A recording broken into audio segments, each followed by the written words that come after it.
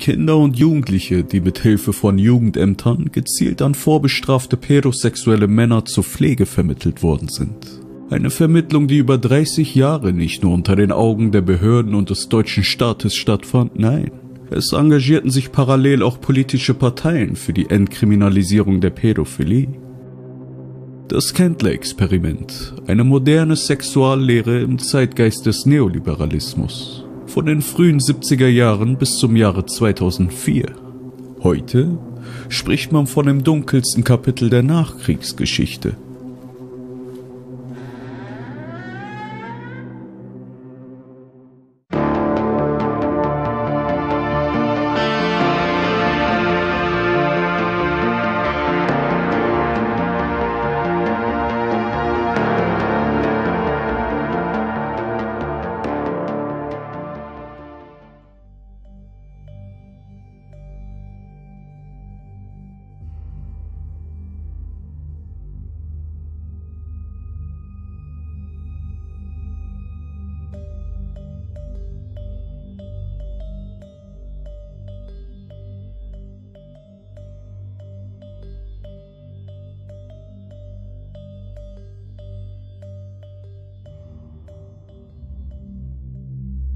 Das Kendler-Experiment ist benannt nach dem Sexualwissenschaftler Helmut Kendler. Kendler war zudem Psychologe und Professor der Sozialpädagogik an der Universität Hannover. Er promovierte 1975 mit seiner Doktorarbeit Eltern lernen Sexualerziehung und veröffentlichte somit seine Theorie einer emanzipatorischen Jugendarbeit. Seine Dissertation, was auch als Sachbuch erschien, machte ihn bundesweit zu einem renommierten Fachexperten für die neumoderne Sexuallehre was ihn auch dazu brachte, zeitweise als psychologischer Berater für Polizeifragen und auch als Gerichtsgutachter tätig zu sein. Nach Kendlers Sexualanschauung sollten Eltern die Sexualität ihrer Kinder vielmehr fördern, anstatt ihnen weiter Hindernisse in den Weg zu legen, um nicht zu riskieren, dass sie zu sogenannten sexuellen Krüppeln bzw. sexuell unterentwickelt bleiben. Zitat den Eltern muss klargemacht werden, dass ein gutes Vertrauensverhältnis zwischen Kindern und Eltern nicht erhalten bleiben kann, wenn den Kindern die Befriedigung so stark drängender und unaufschiebbarer Bedürfnisse wie des sexuellen verwehrt wird. Es sollte auch laut Kendler kein Problem darstellen, ob die einvernehmliche sexuelle Befriedigung der Minderjährigen unter Gleichaltrigen oder aber auch mit Erwachsenen stattfindet und sollte diesbezüglich auch klar vom sexuellen Missbrauch differenziert werden.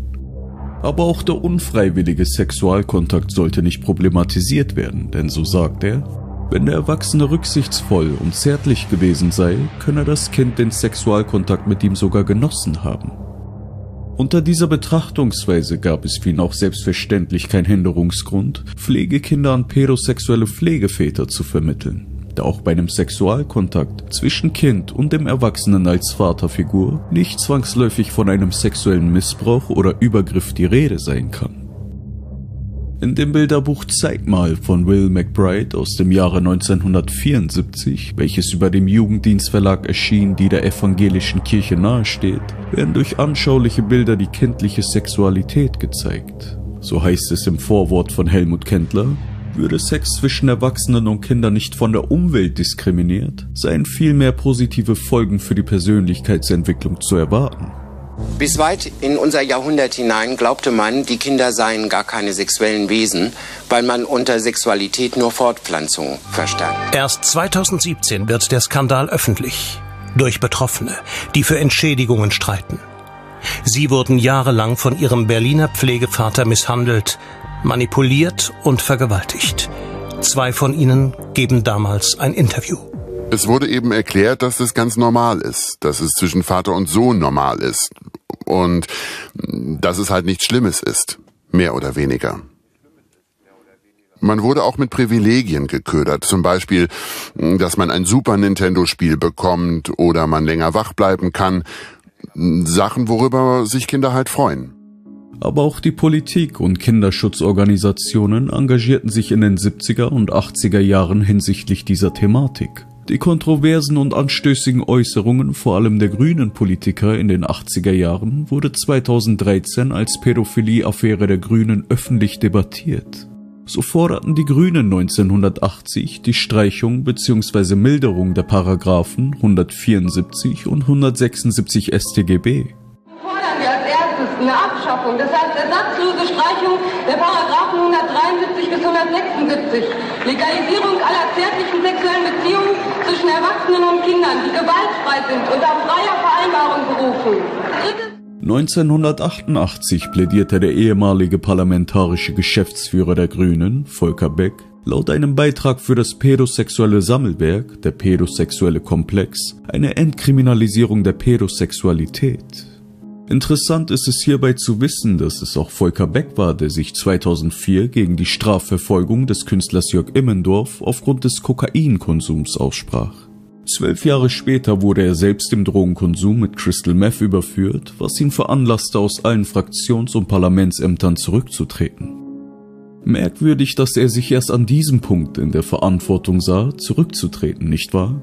Zumal der Drogenkonsum ihn letztendlich nur persönlich betrifft. Doch sein Engagement hinsichtlich der Sexualität mit minderjährigen Kindern eine ganze Gesellschaft betrifft.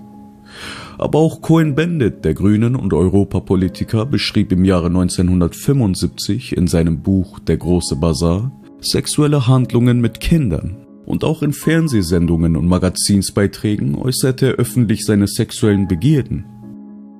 Walter Bersch, von 1981 bis 1991 Präsident des Kinderschutzbund, war sowohl auch 1983 Gründungsmitglied der Arbeitsgemeinschaft Humane Sexualität.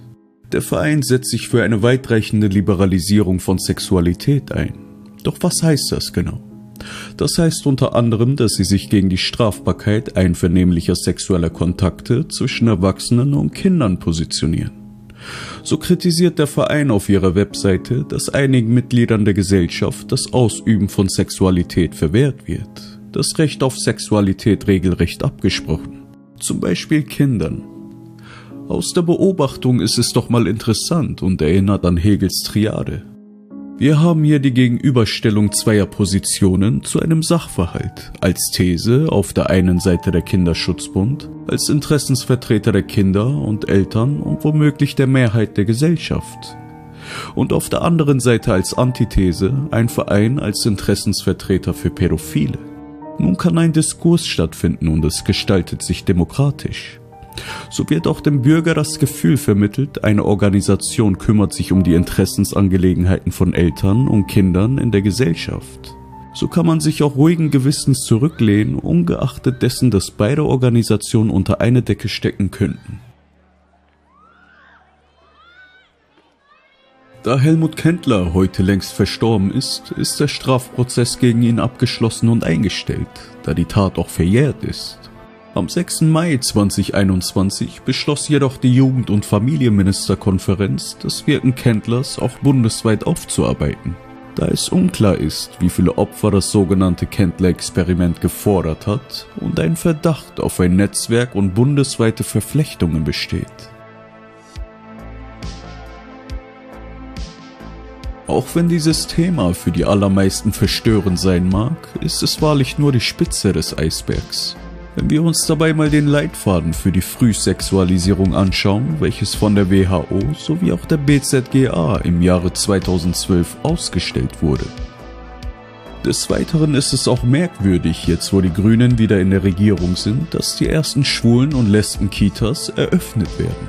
Dazu mit einem Vorstand, der bereits aufgrund von Pädophilie-Vorwürfen zurücktreten musste.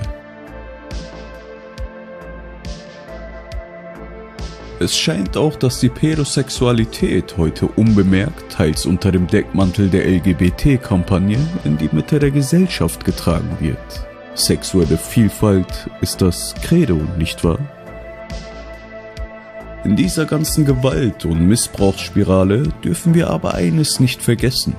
Der Mensch behandelt seine Mitmenschen meist nicht so, wie er gerne selbst behandelt werden möchte, sondern meist wie er selbst behandelt wurde und so auch gelernt hat, sich selbst so zu behandeln. Was haltet ihr von der gesellschaftlichen und sexuellen Entwicklung? Wo wollen wir dahin? Schreibt mir eure Meinung gerne unten in die Kommentare.